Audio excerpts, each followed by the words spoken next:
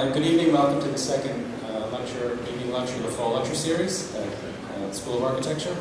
Uh, I just want to make a quick early announcement, uh, which is this Wednesday at 1. The Wednesday episode is Ed Mitchell and Fred Koetter, both from Yale University.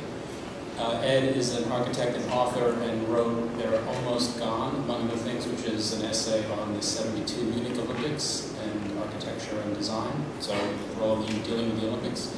And Fred Koetter is co-author of Collage City. And a week from today, here will be Jeff Kipnis from Ohio State University. Tonight, I'm pleased to welcome Ross Wimer to the School of Architecture. Uh, Ross is currently a design partner at SOM, where he's practiced for the last 12 years, uh, after leaving the New York office three years ago to head up the studio here. Um, as an adjunct professor at IIT, uh, Ross has received his bachelor's degree from Yale, his master's from Harvard uh, Graduate School of Design, and as I learned not so long ago, went to a rival high school in New Jersey, uh, although we never met on the field, uh, thankfully. Um, both in New York and Chicago, Ross has um, elevated the visibility of design and design excellence at SOM, and is a significant force in the renaissance of that firm. His work has won several PA awards, uh, has been exhibited and published widely.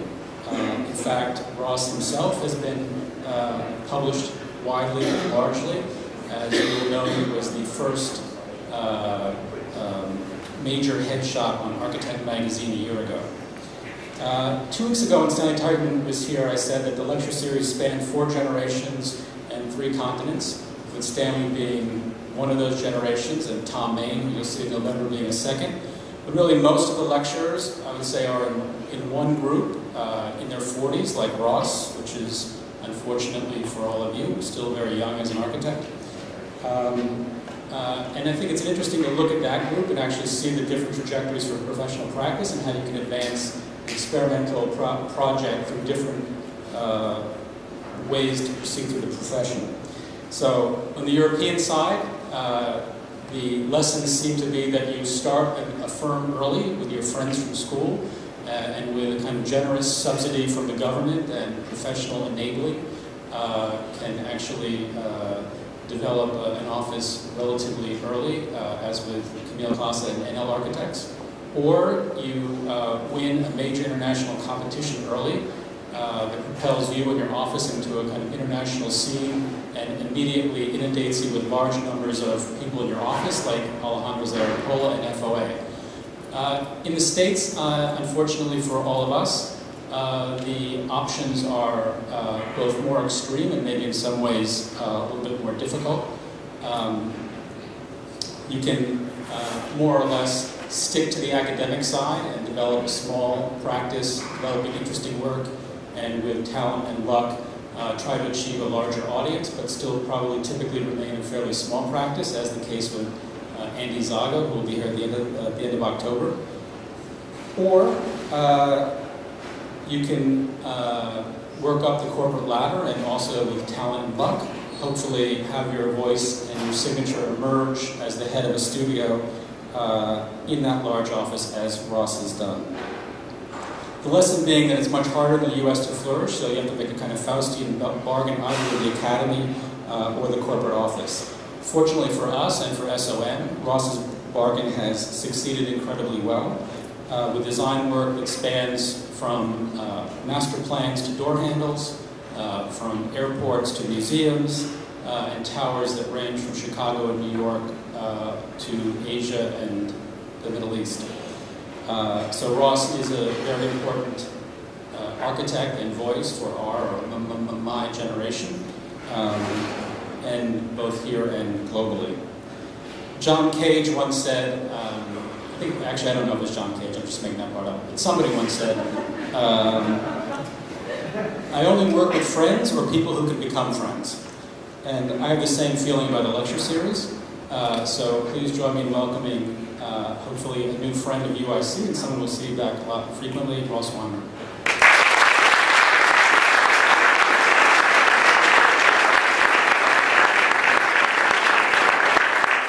Thanks, Bob. I want to take this thing up. I, I want to change this out, actually, because this was a slideshow that, an alternate version of uh, the universe, and I, I want I want to do the one I had intended here. So it's sort of a tech issue with Macintosh, I guess. Yeah, it- but I actually, when you see the first slide, you may understand why it's not wanting to play. It's being an SOM computer.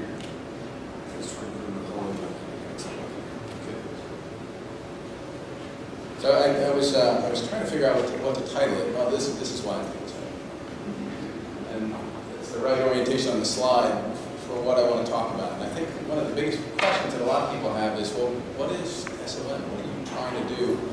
What is the future of SOM? How do you try to track the, trajectory of this firm that's been in existence for over 70 years? And you know, we've got over a thousand people worldwide.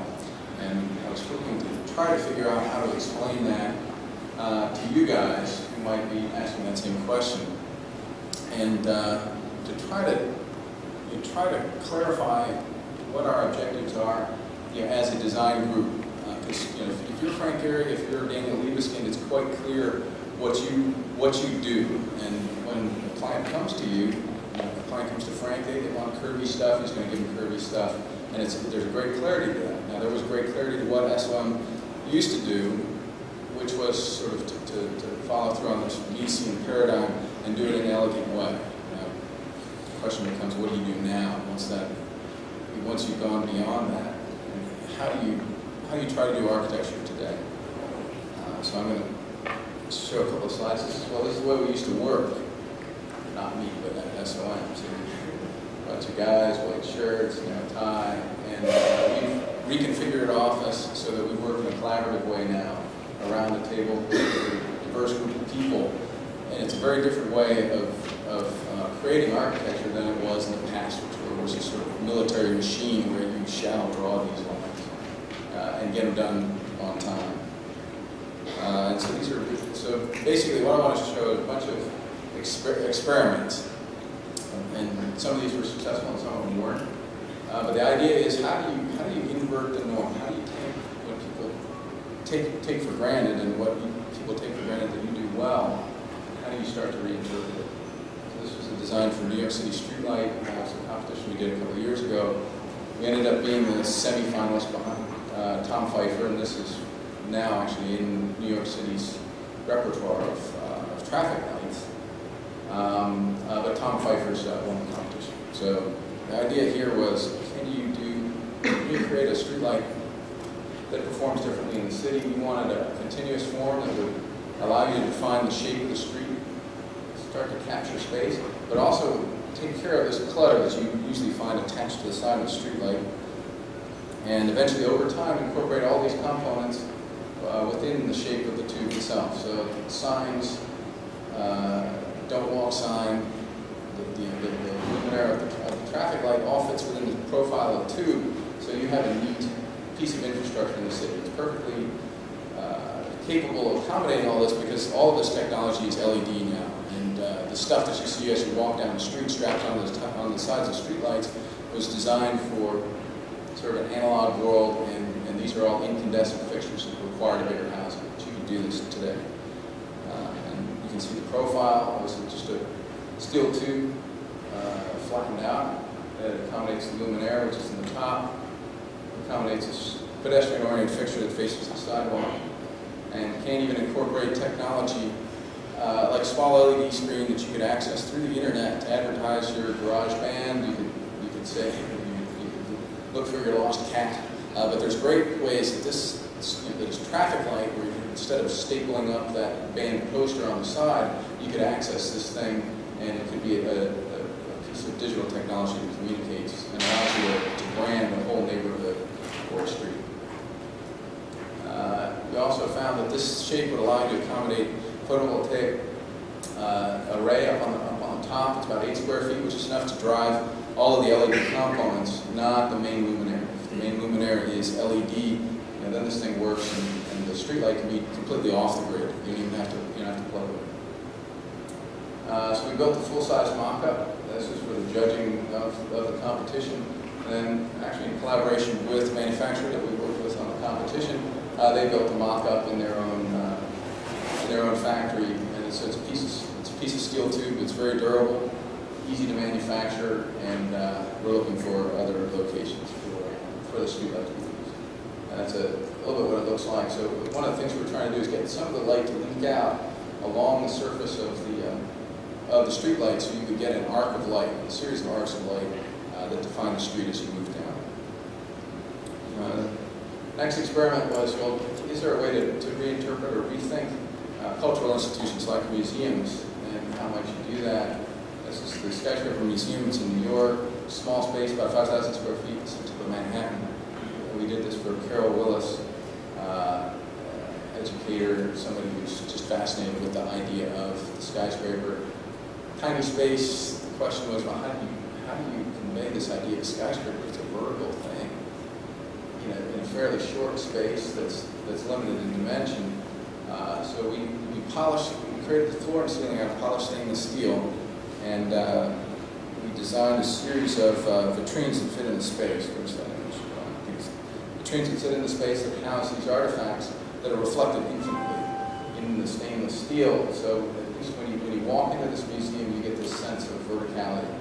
Uh, and what's funny is if you go with uh, little kids, they'll drop down on all fours uh, because you get this feeling of vertigo kind of floating in between these, uh, these polished planes.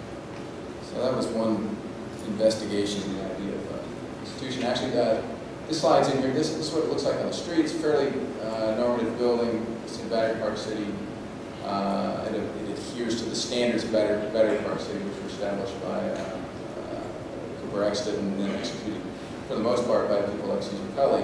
Uh, what we proposed and, and uh, our client is trying to get uh, funding for is a new vestibule that steps out into the street.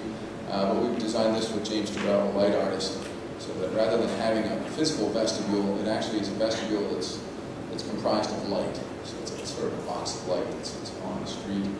Uh, we've got a full-size mock, or a part, partial size mock-up that, that's, that's fully functional on it. Uh, they're just trying to raise about half a million dollars to build.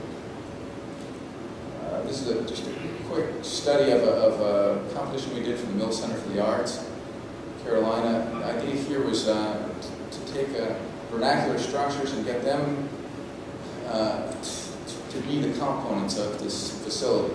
And each of these components were, were meant to be sort of an elemental representation of uh, what you find in the vernacular of this, of this part of the country there's a stone building and a brick building, a metal building and a wood building, all sort of working together to form a courtyard where performances can take place.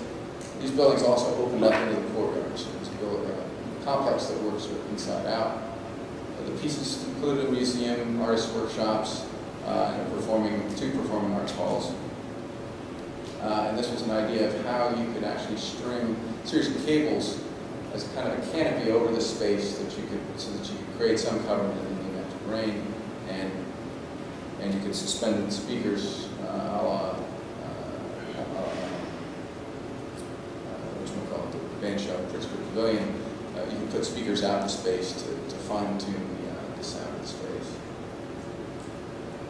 Uh, there's the elevations, you get a sense of what this composition of buildings is like, and the space in the middle another sort of an experiment. This is, a, this is for a, a children's museum and science museum in Doha.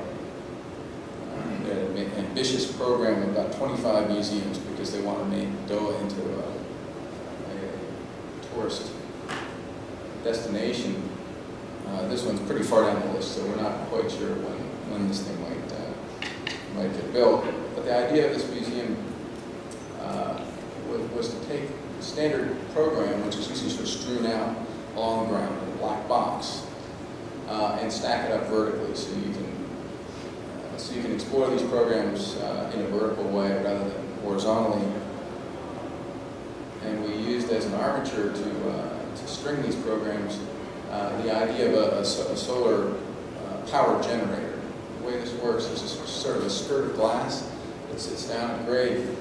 The air heats up underneath this skirt and starts to rise up the tube, driving a wind turbine at the top. So we thought that by using this as the armature for the building, you could go there and you could see science in action. It wouldn't just be a, a bunch of canned exhibits. Uh, you'd really be able to see a, a working piece of technology. Uh, so we have a diagrid structure that supports it. Series of cores that serve the whole building, and then you know, this glass sleeve uh, that goes over the tube and the glass uh, skirt down at the grade level, and then uh, a series of programs that are stacked up, these cylinders that sit within the tube uh, that, that hold the exhibits.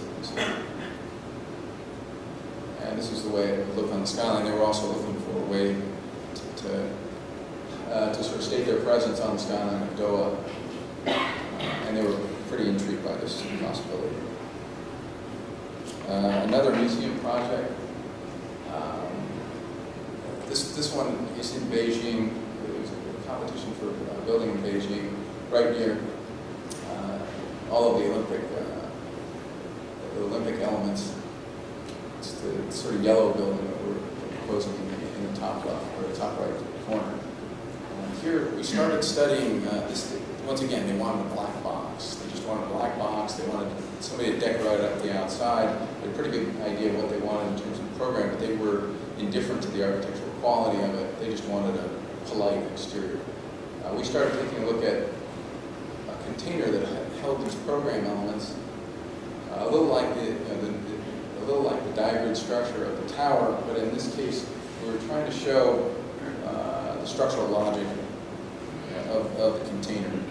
So we did a loading diagram based on uh, uh, a structural engineering program uh, that yielded this pattern, which is somewhat similar to some of these patterns you see down below uh, of, uh, of, of, patterns that are generated by stresses in a flat plate. Uh, so that gave us the pattern for the box. This way, when you go to the museum, you understand how structural loads are brought down, and it's and, and the box starts to speak of its technology. These are the programs, the way that would stack up, and this is an idea of what the image would, would be on the exterior. So rather than, uh, you know, it's, it's, it's near Herzog de Meuron Stadium, which is, is, this beloved bird nest that has a, fabulously expressive structure, uh, but it's not really derived from a structural diagram. I think our idea was that you take the structural diagram and some idea what the space be like. And uh, this view from above, you could actually reveal the, uh, the logic of the programs or the, the programs through this screen. And the next set of experiments are about uh, office buildings and high-rise buildings, which is something we're uh, the office is known for something we do well, something where actually it's more difficult to innovate. Where our clients are, are, looking, you know, they know exactly what they want, and they're looking for something quick and economical, and they're looking for about sort of 1.1% innovation in there uh, that's going to allow them some competitive advantage over their uh, over their rivals, but they're not looking for something that's necessarily attitude for, for the most part. So, so here are some experiments along those lines. I thought Paul would enjoy this. Um, it's a product uh, that uh, Paul and I worked on um, for a building for China Energy, which is an energy company. They, they wanted their corporate headquarters in these long row buildings in Beijing where all the all the big uh, corporations had their headquarters. And we, we sort of set out to, to make the whole complex convey the idea of energy. We were trying to trying to see well, how, what are the, the many ways the building can express the energy that's in it.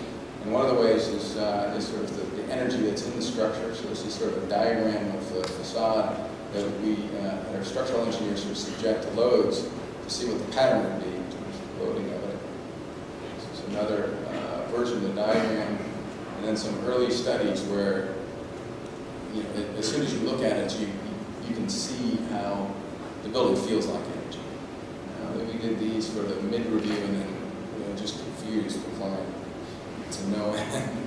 and so we simplified some other diagrams in this sort of structural component uh, that would form the building uh, and the facade. This would be their facade on, on that sort of main drag in, in Beijing. Uh, so we, we try to take the same concept but to simplify, uh, simplify the way it would be built. So here you see the loading diagram the diagram of the structure. So this is actually the structure of the building, which becomes more dense down, down at the lower level, less dense up above. So we're still trying to convey this idea of energy. Energy in the ground plane where we're envisioning a kind of a, a garden of uh, alternative energy. And this garden actually came out to form the elevator cores and this sort of spectacular public space at the center of the project. Uh, and this is, this is a sort of diagram view, but you get the idea that the, building, as soon as you walk in the door, feels like it's about energy. This is the view along uh, the main street that Chang'an Highway in, uh, in Beijing. Uh, I think the client was still confused actually after this one. Uh, they were looking for some kind of sort of slick, uh, slick American glass building, not something that was as challenging as this one. But that experiment uh, made us still keep trying to develop this idea of energy in the facade and this, this idea that you, you, could express this structure in, in, in a unique way in the facade. This is an office tower in Doha. You get a sense of, of what the uh, conditions are like there. It's desert climate, but it's right on the Gulf. Section of the building, it's all office, uh, with some public functions down at grade. Um, fairly straightforward stacking section. Uh, what we're trying to do in the facade, once again, is this, this convey sort of the change in energy uh, as, as you look across the, across the facade. Uh, with columns get lower at the, down at a lower level, uh, and spaced further apart and more dense but uh, finer grain texture at the top of the tower. And uh, so what we looked at in, in terms of the plan is, is a way how to make this office building work better in a desert climate. Typically, in, a, in an office building, in a climate like in Doha, uh, you, you get a very bright spot of sun right adjacent to the window, so it's very uncomfortable. So if you go visit an office that's in a conventional of steel and glass building right now in the Gulf, you find that all the furniture is pulled away, away from the window uh, because it's uncomfortable to be by the window. And, and all of the interior lighting is pumped up back away from the window because you have this strong contrast. You get this really bright spot on the floor and you got to compensate with more artificial light further into the floor. Uh, so we thought, well, the way to solve that would be to put a sunshade at the window, so you create a, a spot of shade instead of bright sunlight by the window. And if you position this sunshade down below the ceiling, it works as a light shelf and it bounces daylight deeper into the floor plate. So you see in plan here, uh, the exterior envelope is defined by, well, the glass envelope is the smaller interior circle, the structure and the edge of this light shelf is this, is this outside uh, shape, uh, which is slightly eccentric because you don't need the sunshade in the north, uh, you need a slightly deeper uh, version of this sunshade on the eastern wings. Uh, so here you see the section, this light shelf is bouncing daylight within the space and creating an area of shadow. So you've got more functional floor plate to work with, and you've got better quality of light and less artificial light within the floor. So you can have significant savings on your mechanical plant and a better quality of light. Uh, this is, is a, it's a sort of rendering of what it would be like sitting inside the space with this light shelf above. Uh, this particular building was located right on the Gulf, so there are uh, spectacular views now, uh, which were unencumbered by dark tinted glass or, uh, or, or sunshades, so you actually get to take advantage of the view. Uh, so here's another project. Likewise, a kind of an experiment, and this is under construction now in Dubai. Very similar kind of site as, as this uh, Roa Tower. This one is all residential. It gives you a sense of what the site is like. It overlooks uh, one of the Palm Islands. It's on this uh, Dubai marina. Instant City, still growing. Boy, it's, it, this is a, a, number of years old, so there's actually a, a lot more construction there now than there was at this time. Uh, and, and we came up with an idea of a building that would twist. And the idea behind this building is that the, the views, views are best towards the uh, marina down low and towards the Gulf up high in the building. So by twisting the floor plate, you get more of the rooms have take advantage of the best views. Uh, the client loved this idea, and when, we uh, competed for the project, so, uh, so we continued with this. But these diagrams are actually, uh, were done by our uh, structural engineering group as a way of testing the degree of twist of the building. And we were able to create a parametric model for the building that you can test uh, against a structural engineering uh, software that lets you know how much concrete you're going to have to, to use to, to support the building and measure whether there was an optimum degree of twist. Now, as it turned out, what we really found was that there wasn't a premium for a degree of twist that went between, say, 75 degrees and 90 degrees. So we stayed with 90 degrees, which was what we thought worked best on the site. Uh, you did get a significant savings for less, less twist in the tower, uh, but was, the building didn't feel quite as dynamic at this, this height. So here you, see a, a view of the, the par parametric model, just the skeleton of it. And I'm sorry, this just looks a little washed out. Uh, but get, just to give you an idea of how the plan works, in order to get a twisted tower to work, if you've got a rectilinear core, you end up having to have a different design for each floor uh, as, the, as the floor sort of rotates around the core. You create a cylindrical core, so you can imagine these floor plates pivoting around that cylinder, so all the, so you can have repeated floors. So the key for a residential uh, residential plan is to make sure the floors are, are, uh, are floors that you can you can build an identical identical plate. So we actually have all the floors are the same. They're just rotating one degree at each level.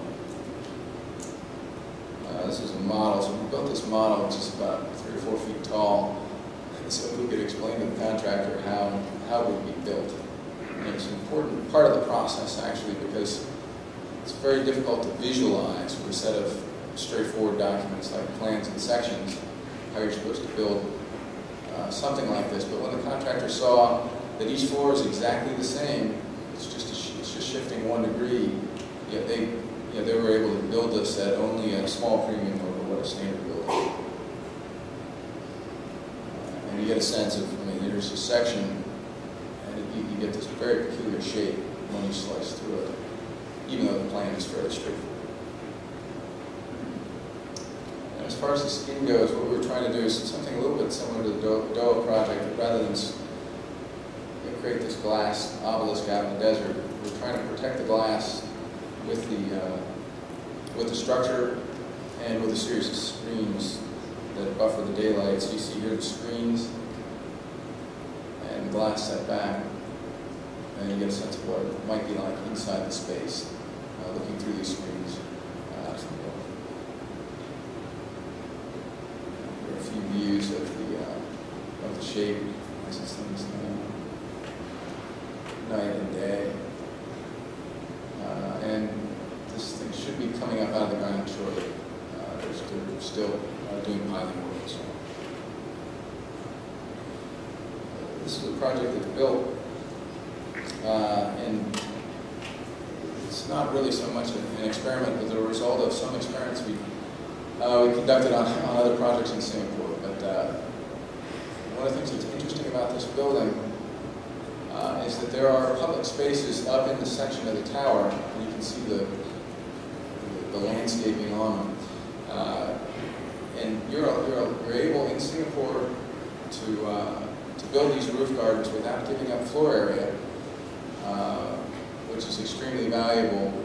Uh, but you don't, you don't have to give up the, sort of the FAR for the floor uh, if you make them publicly accessible. So the public can access these roof gardens as well as uh, people in the building, and it's proven to be extremely popular because people use them to go have a smoke.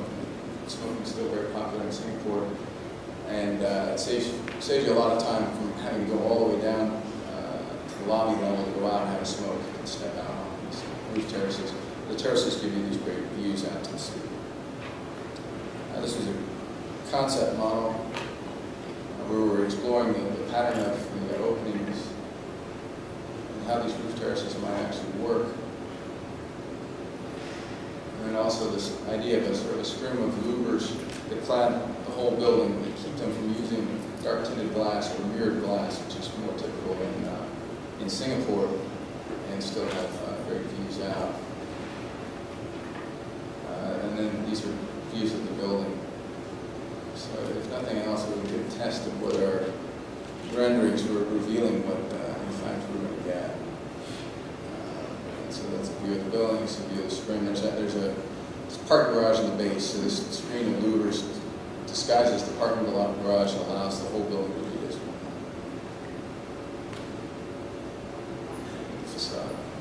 So those, those were some experiments relating that building type. Is there a way to innovate? Is there a way to change the way high-rise buildings are looking uh, by virtue of the technology that's incorporated and the way they respond to their climate? I'm sure you can't tell what this is, but it's some interior of an airport. But uh, one thought was, yeah, the airport as a building type, is that something that, that you can innovate? You, need a, you need a great hall, you put all this retail in it, you have a very specific technical requirement uh, you know, for how this, how this thing functions. Uh, and this was uh, Changi Airport uh, Terminal 3 that's in Singapore. Uh, this project uh, is, is now almost complete. They're about to open it. Uh, but the, the roof itself is about the size of six football fields. It's an enormous roof that covers all the passenger processing areas of the terminal. And uh, we started this exercise after having done uh, the rail connection from, from the subway system. They asked us to look at this third terminal, which completes the master plan of the airport. And we thought it would be good to make this building respond to the climate of Singapore. Singapore happens to sit right on the equator. So there's a very steady resource of sun.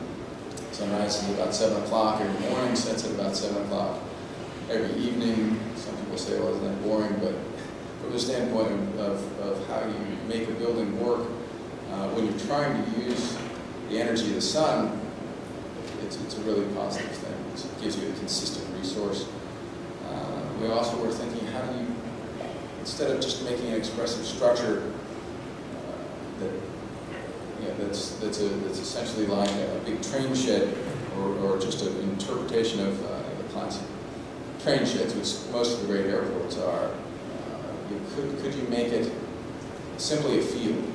Can the, the roof just be a field?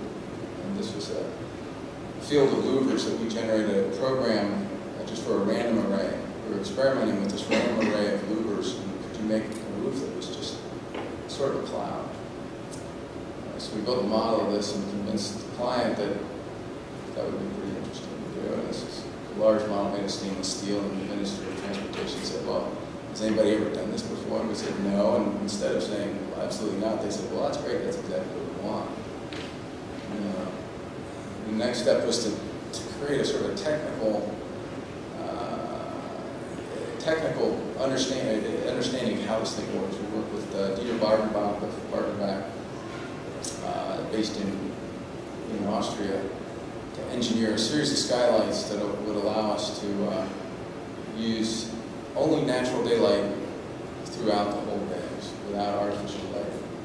Uh, so that demanded a, a bunch of very carefully engineered skylight openings, uh, and they actually they have uh, louvers above them and below them. I'll show them the next slide.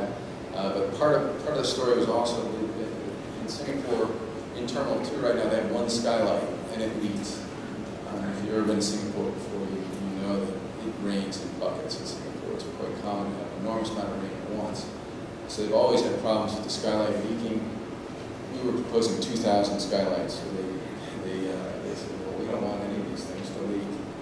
Uh, and we came up with an idea that was a little bit like the exterior wall of a building. So you build the roof, instead of like conventional skylights, you build it more like a layer of the, exterior building, so you can very carefully control things are made. Uh, I'm hoping they don't get a call. I haven't got any calls yet. Uh, so here's a section through the skylight. It has sort of bell-shaped profile that drives more daylight down to the floor uh, of the terminal series of fixed louvers actually down below the skylight and operable louvers on top. This is what the array looks like. We actually worked very, a great deal on this array uh, because we're trying to create a pattern that didn't repeat. Like that sort of wallpaper pattern. If, if, if it's too tight a configuration, you notice that this pattern is repeating. In this case, we're trying to, to run it across uh, area of six football fields, and it took a fair amount of fine tuning to get that right. Uh, we tested this in, in renderings and so on until we got a sense of you know, whether this was feeling right in terms of the density of the louvers as well. Uh, and we built a, a large scale model of this was at the Venice Biennale out of the, actual materials, it's stainless steel. And we, we figured we had it just about right. We tested it in an artificial sky, which Bartenbach has in their library, or in their, uh, in their laboratory in Innsbruck. Uh, the idea of this artificial sky is that you can imitate uh, the condition of the sky anywhere in the world at any time of the day. And we were able to demonstrate that this array of skylights was going to give them the performance they were looking for in the whole terminal.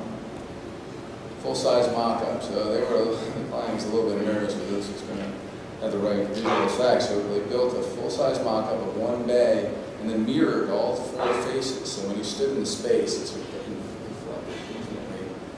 And they were uh, sufficiently pleased with the effect that they, well, they went ahead and built it. Uh, this was actually a mock-up of, of the butterfly louvers that are on the roof. And you see here on a, on a cloudy day, they, they, they go straight up. On a, on a bright sunny day, uh, they, they fold down. So if you've got you know, a mix of sun and clouds, you've got something a little in between, and they fold flat uh, at night and a bright sunny day, so the buffers amount of light that's coming through.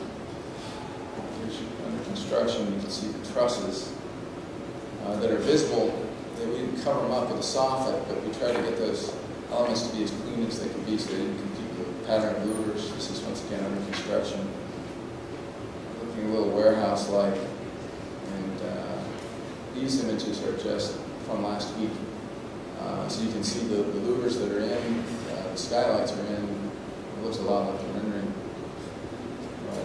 Uh, we weren't responsible for any of this interior stuff. It was done by other architects who were focusing on the roof, sense of what the effect is like. And a couple of the unique spaces in the terminal, well, this is a, view once again looking up at the soffit. You skylights and louvers. This field we were trying to create And here's one of the unique spaces inside the terminal. So we're trying to, one of the great features of, of uh, this airport in Singapore uh, is the garden. When You arrive in the airport here in the garden. Beautiful, lush garden. Uh, it's the signature of the airport, more so than the terminal buildings themselves. We're trying to bring this landscape into the terminal and also uh, make your experience coming into the country as, as interesting as it is leaving. It's typical when you arrive in a country, you go pick up your bags, you're in a space that's about 10 feet tall, and uh, you know, you're, you know, you're exhausted from the flight, you're wondering if your bag is coming, you have to wait, wait for a fairly, fairly long period of time while your bag comes out. So right here are where the baggage carousels are. So we, we push the floor back so that this whole space is open to the skylight. Uh, there's sort of a green wall that sits behind it, and within the claim devices is actually a, small garden. So there's landscaping uh, where you pick up the bags. The bag belts are right in front of you here. You can see another view of it. So, so we actually altered the skylights. They brought uh, they brought more daylight into this into this part of the terminal, so all of the landscape would grow properly. Uh, so this next set of experiments uh, has to do with, with the city, and uh, this is the last chapter of this, uh, this idea of, of experimenting. And uh, there are a couple of proposals where we have the opportunity to work you know, on, on a very large scale, and almost demands a different response, a different sort of way of looking at these challenges. Uh, and what I'm going to show is, the, is our um, design competition proposal for the World Trade Center site. Um, before I came to Chicago, I was working on this sort of one, there, are many phases of our involvement there that include Freedom Tower that's, that's under construction now, but what I wanted to talk about was actually our design competition entry that we did uh, in conjunction with a group of, uh, of other architects and artists. Uh, so it was truly a collaborative idea about you know, what, is, what is the future city going to look like, you know, really high density of city. Uh, so we started by looking at the site in downtown Manhattan. It's one of the densest cities on earth. Uh, and you can see there the, the Trade Center site is, the sort of gap in this in unbelievably dense fabric. And started investigating different, uh, different aspects of how this site uh, is affected by those things that are around it and, and, uh, and things like history. Uh, so one of the first things we started looking at were old maps, and what's really interesting actually about the Trade Center site is that in 1767, half that site was, was actually in the river. Uh, and as the city grew and as waste was dumped in the river, forming landfill, the city really expanded out. Uh, so only only half of that site is, is dry land uh, as it stands now. So as you look at a series of maps, the site crept out uh, towards the river. You can see these layers in this diagram here.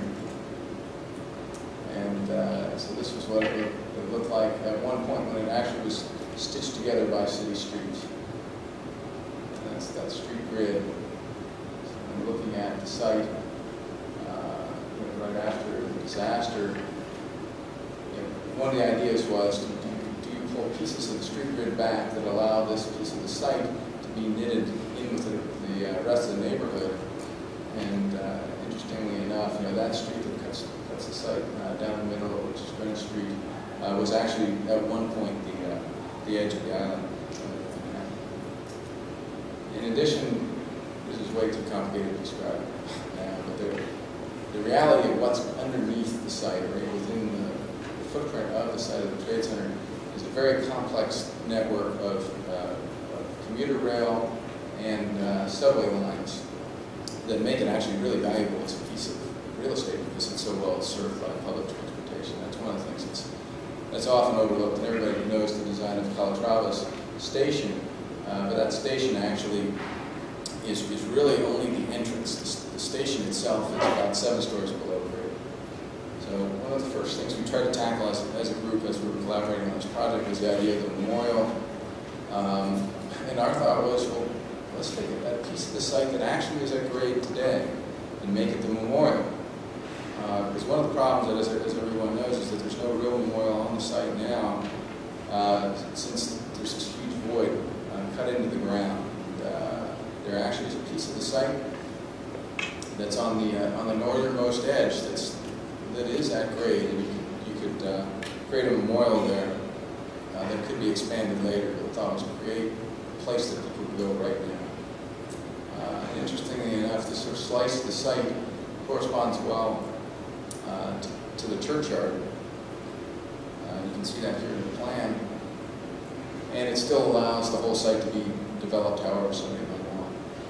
Uh, we thought that might be an interesting proposition. Uh, so as you look east here from uh, Battery Park City, you see how this memorial might correspond to, to this, this great churchyard that sits down and ultimately, once the site got developed with a, number of buildings, proposal was to restate the ground plane in the air so your memorial might actually be at the 80th story of these uh, towers, uh, so you could go experience a memorial in the sky. Our thoughts about the, the rail station was that we just wanted to kind of a way to stitch together all of these all of these elements of transportation uh, and link them to the sky. And this is something that uh, proposal uh, quite well. Uh, in our case, we were suggesting that this might actually run all the way across the site. Uh, but you can see here the relationship between what is the space of the station and, in fact, where you arrive. So this sort of glowing square in the, in the middle is really set about seven stories down, so you need to move upwards from there into this, into this main space. And our thought was that if you link the space to the sky and allow people get out to the street in a logical way, you overcome some of the problems of, of actually arriving underground at the station. Uh, so we started to look at the towers and see whether there was a new way of looking at towers. One of the first thoughts was that uh, in doing this uh, sort of an MRI of Manhattan, just taking these slices of the city as you go up, a very interesting series of layers that correspond actually to elevator technology. So the city, of, particularly lower Manhattan, is defined by a series of fairly well-defined layers uh, where, you know, somebody, somebody figured out how to get the elevator to, to, to go up a little higher, and you, you got another strata. So it actually corresponds to the age of the buildings and where this elevator technology was. And so we thought that if we created uh, sky gardens that corresponded to those levels, it would give, uh, the, sort of lock these buildings into the logic of the city, uh, at least, at least downtown. Midtown is a different combination of buildings and a lot of, uh, it was, it was a sort of different mix, but downtown happens to have this strata. The other idea was uh, that you know, a new large chunk of the city needs to deal with uh, sustainability in a very meaningful way. We worked with Guy Battle uh, to come up with our strategy, and one of the most important things was retaining rainwater runoff rather than sending it out into the rivers. Uh, so there was a large cistern that sat down down below grade. Uh, so absorbing the water on the top, using that actually to irrigate the gardens as the water comes down. So it was, it was somewhat filtered by the time uh, you were going to retain it in the cistern. And then can you integrate other technologies, wind turbines, photovoltaics in the skin, so the building actually has the ability to generate power rather than just use it? And is there a way that you can, you can get these buildings not just to harness the wind to drive the wind turbines, uh, but to, to direct the wind in, a, away from the ground level? One of the real problems of the Trade Center site always was that it was extremely windy. You go to visit the Trade Center, it was acting as a sail and driving this wind down to the ground level. Uh, by, by creating these gardens uh, in the sky uh, that have the ability to, to let wind through them, what, what we found in, in subject to a wind tunnel test was that you, that you can mitigate the winds at ground level. So, you know, in other words, when it hits the building, it gets directed horizontally through the building, so you don't get as, as strong a wind coming down to ground level, sort of this sheet down the face of the building. And this is a diagram of how those winds would uh, find their way through the site. And, this was a sort of a diagram of what we got around these shapes. And we started to discover what you can do with the shapes. Now, it, one thought is, you know, conventional wisdom is that you can tell developers how to how to limit their impact on the street level environment. So you create a series of setbacks like New York City zoning does, or you cap off height, or you cap the amount of development.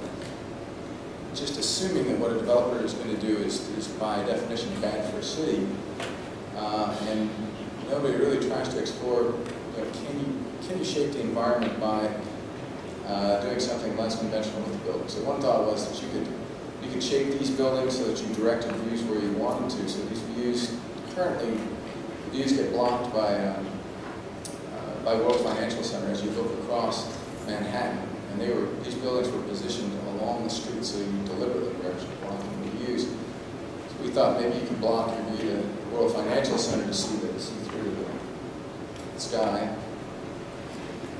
Or you could frame views to buildings that, that we thought were worth framing, like the Woolworth building.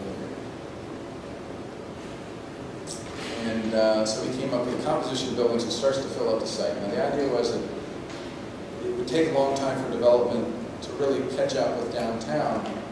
So you wanted a project that felt complete and something you could visit uh, right away, as quickly as possible. So we proposed a sort of a film of water that went over the original footprint, uh, footprints of the towers.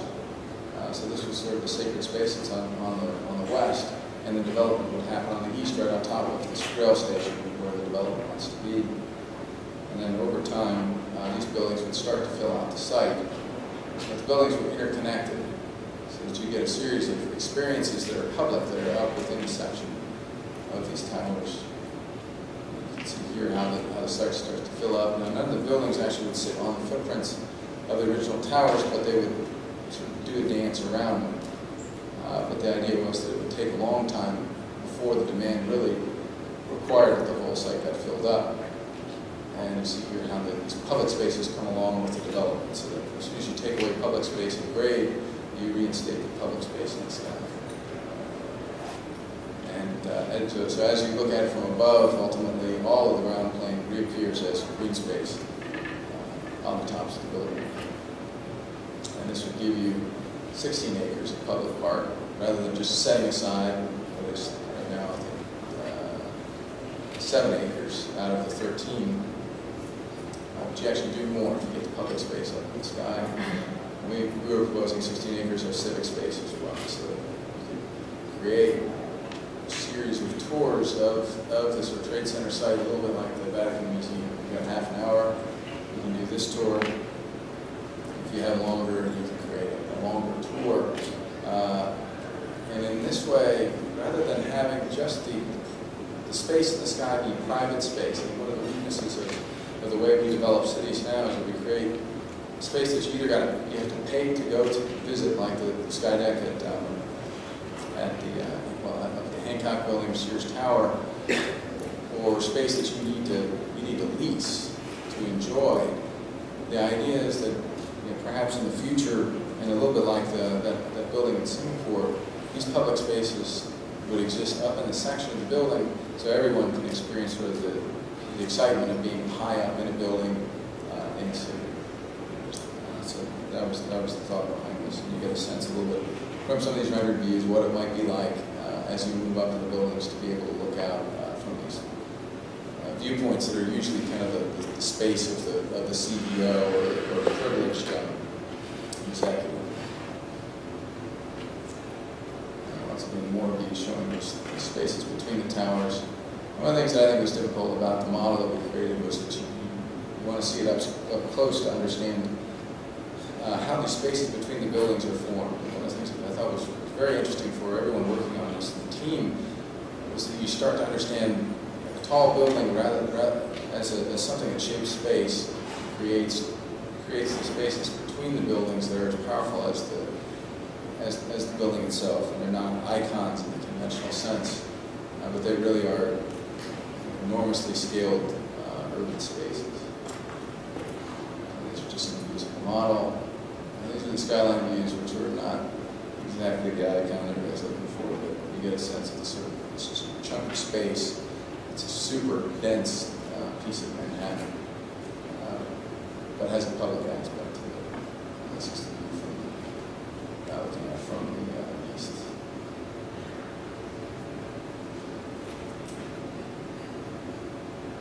So, I mean, that wasn't the end of our involvement, obviously, uh, but it was probably the more provocative piece. And I think some of the lessons that we learned there, tried to put to work uh, in this project that's now under construction in London. Uh, this is all residential, well, for the most part residential. There's some uh, office space, and uh, there's a performing arts center within the, within the proposal. But this is on a tribu- uh, tributary of the Thames. You see the Thames, the bend of the Thames at the top of the image with the Millennium Dome in it. Just to the right of where you see the dome is, uh, is where Canary Wharf is, which is the big sort of big reservoir of, uh, of corporate office space, and which is driving these residential projects that are in the Lower Lee Valley. Uh, now, now suddenly Canary Wharf is successful, uh, people need people are interested in having a place to live that's, that's convenient to it. Our site is actually a cooking oil factory right now. It's, it's, it's, this cooking oil factory has been demolished and they're beginning site work. Uh, and it's, it's called the Lee River. Uh, what you see in the bottom of the image is, uh, is, uh, is a large uh, transportation hub. Jubilee line, Docklands Light Rail line uh, comes through there as well as a, bu- as well as a large bus station.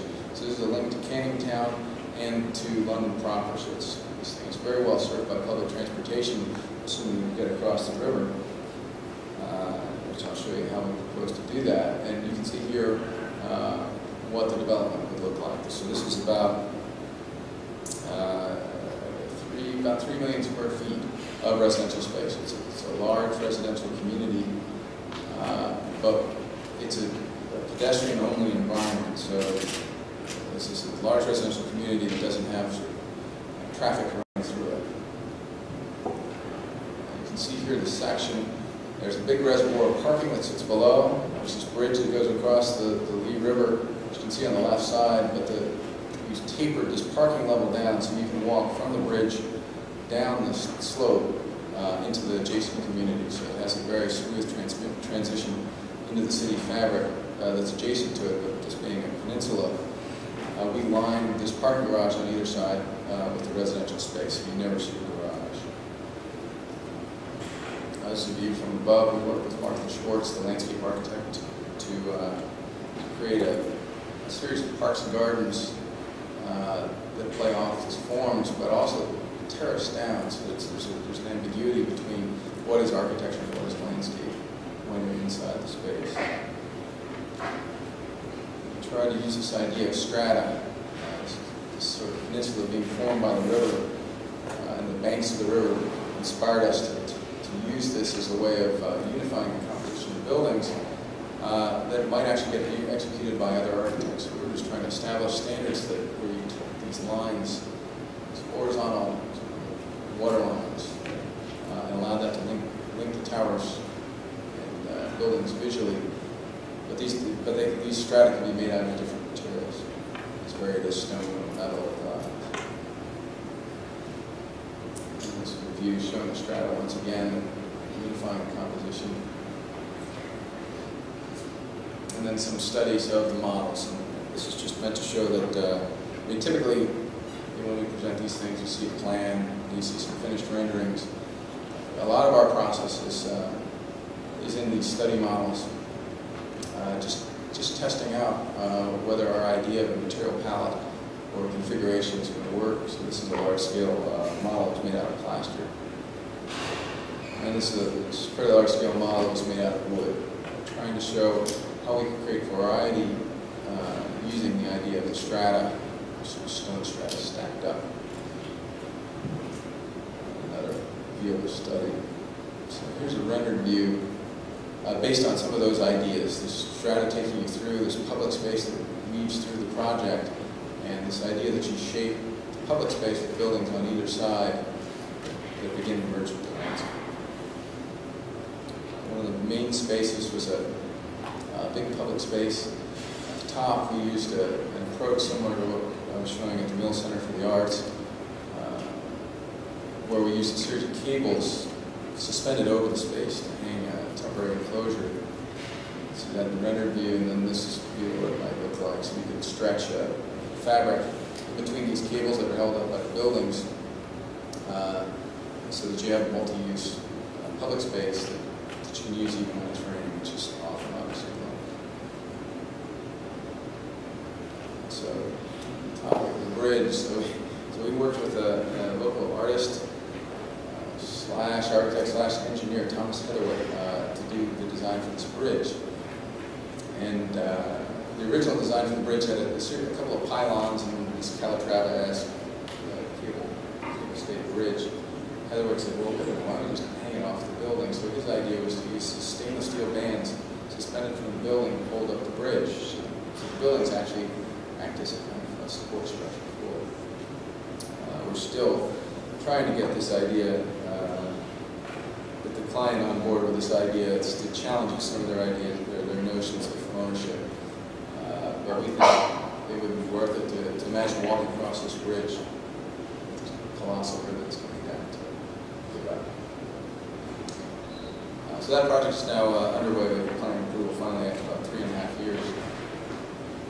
And uh, this is the last topic, and, and, and uh, one of the things that we're spending a lot of our time on right now is this, this uh, Olympic uh, bid plan for the city of Chicago. We've been involved with uh, the city to create a kind of a venue plan, figure out where these venues should go in order to make the Olympics work well for the city of Chicago, uh, as, as well as you know, in order to, to win the bid. So as you can see uh, image, almost all the venues are right within the city of Chicago, in the center of the city. There, there aren't too many events that are in outlying areas, which allows uh, allows the thing to, to, uh, to be very compact. Very compact. The, the bulk of them are centered right around the, the center of the city, um, using uh, Soldier Field and McCormick Place for a number of venues, as well as uh, sites that are along the waterfront. We're currently working on uh, the idea for Olympic Village, which would be on the marshalling yards uh, that are just south of McCormick Place. The idea is that the, the city, because it owns uh, that property could build an Olympic Village to house all of the athletes uh, that would ultimately be an amenity to the neighborhood, the, neighborhood that exists, and allow people in the neighborhood to move from, uh, from the west across the site to the lakefront. Because right now, the, the, uh, all of this sort of old infrastructure cuts off the whole neighborhood from the, uh, from the lakefront for the most part. And uh, so these diagrams show where the Olympic Village would lie, what some of the connections would be, and how a series of temporary, what they call temporary venues, which are support space for the, for the athletes' village, which would sit actually in the parkland on the water. And that was one of the early views, and this is still uh, being refined and uh, put to the test of uh, a bunch of economists to make sure that uh, this is all going to work. Uh, that's a view of what it might look like at the city. Uh, but what we've been trying to push fairly recently is an idea that you drive this whole district with a, a more substantial, sustainable strategy. And uh, this would in particular be to use the, the water from the lake to drive a physical plan, where you use the te temperature differential between the lake water and the air to actually create district cooling or district heating, uh, which is a great amenity and allows allows us not to use uh, fossil fuels to to um, uh, to serve this part of the city. And if you if you have a large enough area, uh, you can make it worthwhile to run these uh, run these pipes out into the lake. That's one possibility. Also, uh, geothermal wells uh, within the within the site uh, would allow you to to take advantage of this sort of large area of the site as well. I don't want to go through in detail all of these propositions, but the, the goal is actually to, to make this Olympics and this Olympic Village and the legacy of the village uh, uh, be a piece of infrastructure that contributes to the city uh, in a different way than, than these kind of developments have been. And uh, even the, the elements of the village, this was an early concept for well, how does an individual building work, and can you make the individual buildings, can you create a spec, let's say specification for the buildings uh, that forces the developer that ultimately can build them uh, to, take on some things they might not normally do, green roofs, photovoltaics uh, on the south or, or, east and west faces, overhangs on the south face that allows you to, uh, to shield against uh, uh, the low sun. And we have an idea of, of interlocking units, a little bit like Corps Unité, that allow the units to both face north and south, so everyone gets some south-facing daylight and this idea of uh, an amenity space, something like that project uh, I was showing in Singapore and uh, in a trade center master plan, uh, where you have amenities that are up in the section of the building that work well for the athletes as a gathering place, and then ultimately for uh, future residents in each building. And this is just a view of what that might look like. This is just speculative right now, but the, the goal, I mean, it's, we're trying to establish what sort of goals are you going to have for a residential development that is, that is built for 2016? And how do you push everyone to understand that, uh, that we need to be more ambitious about it uh, than we are today? Uh, and this is a great place to do it. village. The last image is of a tower. We, we may have towers that become that are part of this village as well. And uh, are there ways that you get a tower uh, that responds in a different way uh, to the uh, to this lakefront site and to the environment. Uh, and we actually, for this tower, we were looking at it using a parametric model and morphing the tower in response to views uh, in a way not too dissimilar to uh, the, tower in Dubai, but we're trying to uh, a, create a more specific view calculator program that allows you to modify the form of the building uh, in a unique way.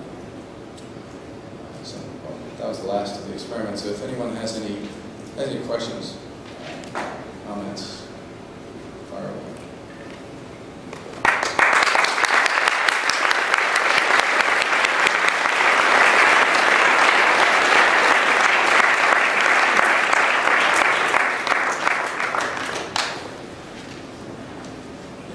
The, the louvers at the Singapore airport, how do they open and close? Is this manual Uh, they're, they're automatic, excuse me, they're automatic, and there, there are six sensors right now on the roof. And the sensors uh, are, are, uh, will, uh, they can sense whether you have a cloudy sky or whether you have a, a bright sun in the sky. And they, and they needed six of them actually because they were afraid you had a small cloud that came over, you had part of the louvers going down and part of them coming up. And they didn't want them responding too quickly. So you had these louvers flapping if you had small clouds come over. So they, they, required six of them to kind of see, get a big picture, so get the big picture of the whole sky. But it's all done automatically. Uh, and they all, and the default is down, so that when you get a rainstorm, they're all down, and at night they're all down. And I, I just want to go visit it so I can see, go stand up on the roof and see what happens when the sun comes up and these louvers are sort of uh, opening. Uh, and one of the things that I forgot to mention is that the, these louvers are actually have a mirror finish on them, so that when the sun comes up, they open up right away so that you can bounce more daylight. So the sun is at a very low angle, there's not that much coming through the skylight. Uh, but we were able to get it to work so that these, uh, these louvers bounce daylight, uh, additional daylight down early in the day. So they open up right away when the sun comes up.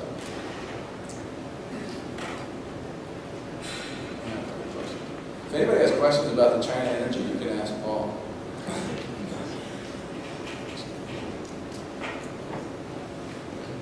Well, Everybody's hot when I get out. I'm going to ask one question. Uh, take the privilege. Uh, I'm wondering about the beginning point, which was the issue of legacy or the connection back to so I'm history and Mies's tradition and what, what you think that is. And part of the argument seems to be that this work is also about honesty, just it's expressing a different series of forces because we can model different ones than possible then perhaps. But I guess my question is, is honesty enough? Uh, just to say, when you compare two projects like the Chinese Museum uh, and the airport, uh, the argument for the Chinese Museum seems to be Beijing, to me that unlike Herzog de Meuron's Crazy Nest, that here was a project that really expressed its structure, but it was a very regular, ornamental, symmetrical organization. I guess the other reason I ask this question is because I gave someone a hard time this afternoon about doing the same thing, and I feel like I have to be consistent. Uh, uh, But within the airport project, you said we wanted a random array. And So I'm wondering whether, you know, what point does the desire enter in as opposed to just expressing the forces? It's like, I want to create a cloud-like random array, and then I'll figure out how to do it, as opposed to I'm just going to express honestly what's demanded of me.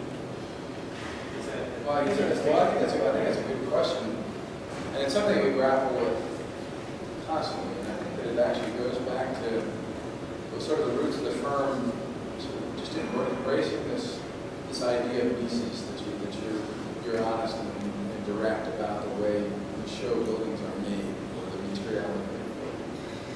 That I think that the as a as an office, it absorbed and created a kind of culture in the office of the building. Now, what, what's interesting that I sort of left out, and everybody likes to leave out, is there was a, there was a period of time all about decoration that happened in between. And I, and I think that, you know, for instance, in Donald Judd's um, uh, book on architecture, uh, he, he criticizes uh, the Ascot work as being perhaps too elegant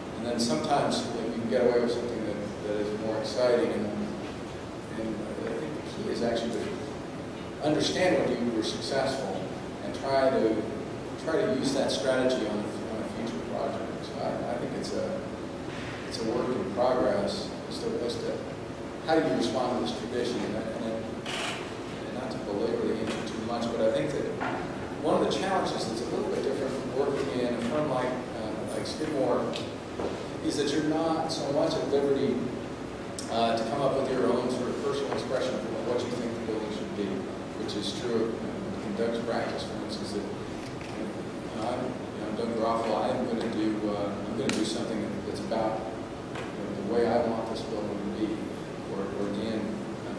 case. It's, it's, it's an expression of the, the, client's interest in the budget, but also, I mean, it can be Doug's personality. One thinks it's an interesting challenge, but also a benefit to a certain degree of being at SOM is, is to try to create something that fits within this legacy of work. That, you know, can you do a building that, that somebody is going to talk about uh, when they're talking about the impact building? Is it's building on this legacy of the firm rather than a kind of a expression, and that's, that's also important. I'm, I'm glad that, I'm glad Bob's question inspired. Yeah, the question has to do with your part with your answer. Um, there is this legacy, and these legacy, and so my question is, how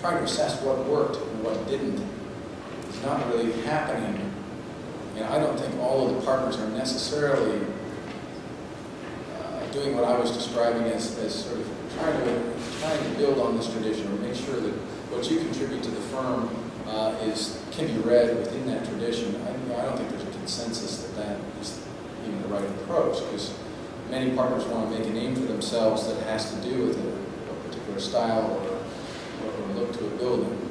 But one of the things that I think will happen is that you know, in the future, as, as people look back on the buildings, they'll try to sort of create a thread uh, that links together uh, projects that are innovative in, in, a, in, kind of a thorough way. And I think the more interesting earlier projects are the ones that are innovative, in spite of the fact that I was taught to hate Beinecke. I mean, there's something that's really interesting about the idea of doing a library for books that text with this kind of uh, very thin stones. You're, you have this dialogue with the old, the old parts of the campus and the stone building, but you've got this kind of magic that you can find inside. But I don't know, I think that there was, one of the things I didn't explain that well is that the difference in the Chicago office is that we have engineers in-house, and I think that a lot of these experiments that I've been talking about were done hand in hand with the engineers. Where the engineers' input uh, can be as important as anybody uh, from the design group so that if you're sitting with a structural engineer and a mechanical engineer in the first week of the project, it affects, I think, the, the tools that you can use. And you're not just sort of pulling out that last thing you did with the pattern facade or whatever. You, you're able to kind of look at it fresh. And I think that's, that's an interesting aspect of the technique that's going to allow us to do something different. I just want to suggest that adopting these legacy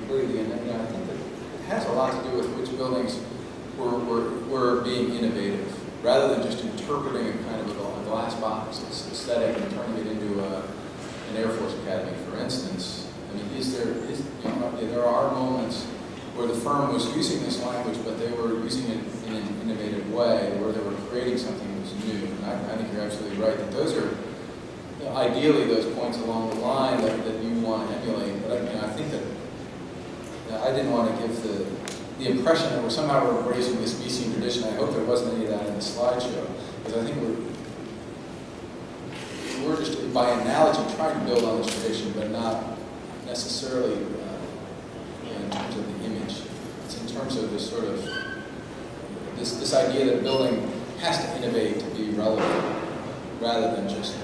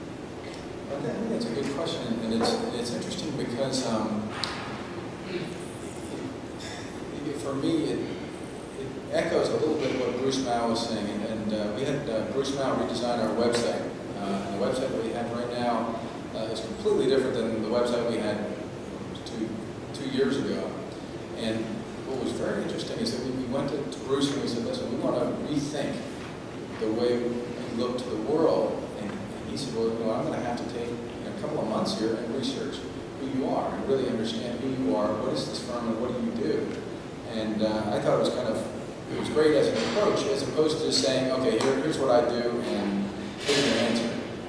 He said, we got we got to think about this. We've got to think about who's going to your website and why, and how is your firm perceived by people around the world. And I think it was, it was very interesting because we were getting kind of a reflection back from his his point of view, which is really about how do people innovate, how do people do things that are new around the world. What he came back with was a little bit like what you're saying, Paul, that there is a, a political, social aspect of what you do because there's so much of it and you got to get it all out there. So his answer was, take everything you do and make it available to everybody, and let people know that this is what you know, the breadth of the practice is, um, and, and get that word out there. Because you could, you could take five or six projects and show them in an exquisite way, and, it would just look just as exquisite as Ben van Berkel, who has this fairly small, innovative office. But you know, that doesn't make any sense because you're not taking advantage of the fact that you've got a thousand people that are working worldwide and there is really a political impact to what you do. And actually, it was very interesting. So we, we proposed this partnership, and the partnership didn't necessarily see that as a positive thing. And they wanted, you know, the, the uh, they wanted the impression of, you know, that five-person office in Amsterdam uh, doing innovative stuff, and they wanted to control the message. So it was just you know, this, this sort of most exquisite projects, whatever that might be. And I think that, uh, I think what the partnership was challenged by was the fact that if you do have an operation that ultimately is political, that is global, that you have to be innovative. You have to, every single thing that you do has to be innovative.